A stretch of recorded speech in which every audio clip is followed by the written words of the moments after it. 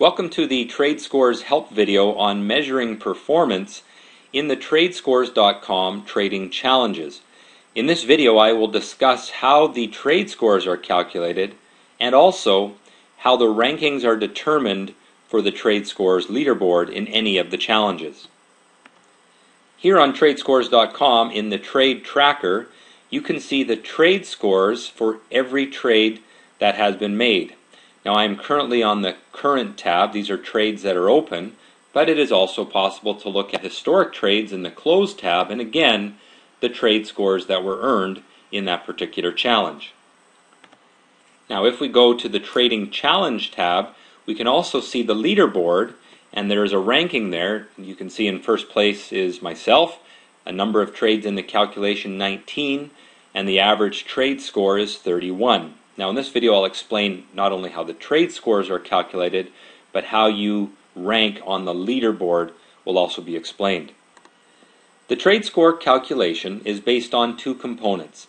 The percentage gain for hold period is worth 50 points, and the reward you earn for the risk you take is also worth 50 points. Now we add up each of these scores for a maximum possible trade score of 100 points. Now the first thing that we need to calculate is the percentage gain in consideration of the hold period. Now percentage gain is relatively simple. How much did your position change in percentage terms? But we must multiply that by an annualization factor to get the total percentage gain. For example, if the stock that you trade earned a gain of 14% in 12 days, looking up the hold period on the annualization factor table, reveals a multiplier of 8. 14% times 8 is a total gain of 112%. Now the percentage gain and hold period are shown in the trade tracker. Percentage gain is under perf for performance. You can see that there's a number of different percentage gains in that table. And then the next column over is the hold period. So taking those two values, we use that lookup table, which can be found in the Trading Challenge How to Play document under measuring performance. And so I've gone into the how to play document. I go down to the bottom of the page here, and there you can see that annualization factor table where we can pull those values out. Now, once we have our percentage gain for the hold period amount, we can then look up that value in another table found in the how to play document. 112% earns 29 points out of 50, which you can look up in this table and you can see here we have percentage return from and to. So we want to look up 112%.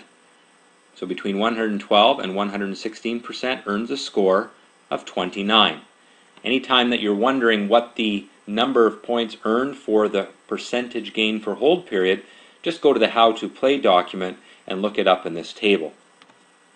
The second component of the trade score is the reward for risk calculation. The reward of a trade is the difference between the entry price and the exit price. The risk of the trade is the difference between the entry and the stop loss price.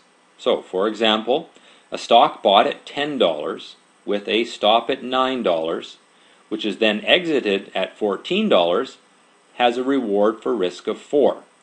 The risk of the trade is $10 minus $9, that's $1 and the reward of the trade is $14 minus $10 for a reward of 4. The reward for risk 4 to 1 or 4. Now we can then jump over to the how to play document and look up the value 4 here in the reward for risk table. We go down, a reward for risk of 4 earns 20 points.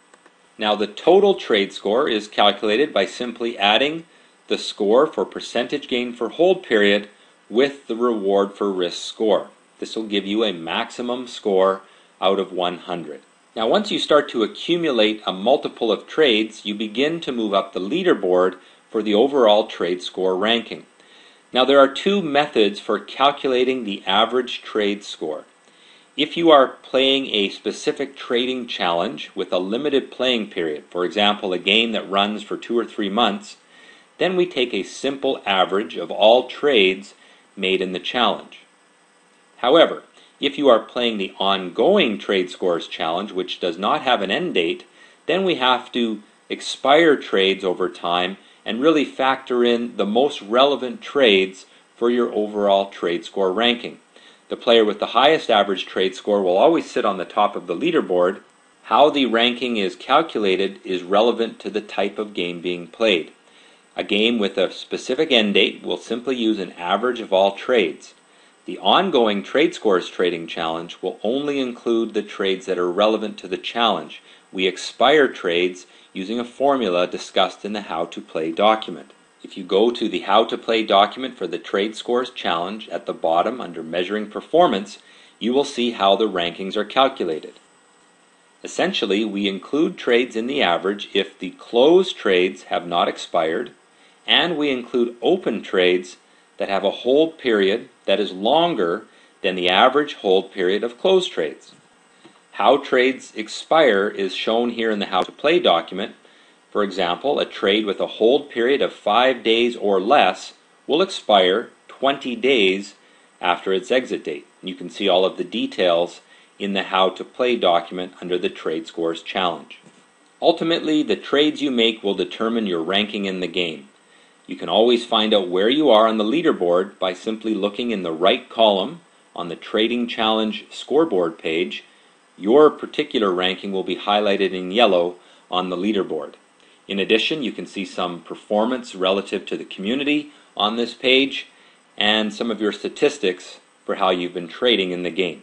Well, that has been the Trade Scores Help video on measuring performance. I encourage you to visit the How to Play document on tradescores.com and review the specific rules relevant to the game that you are playing. I hope you have fun with tradescores.com and trade well.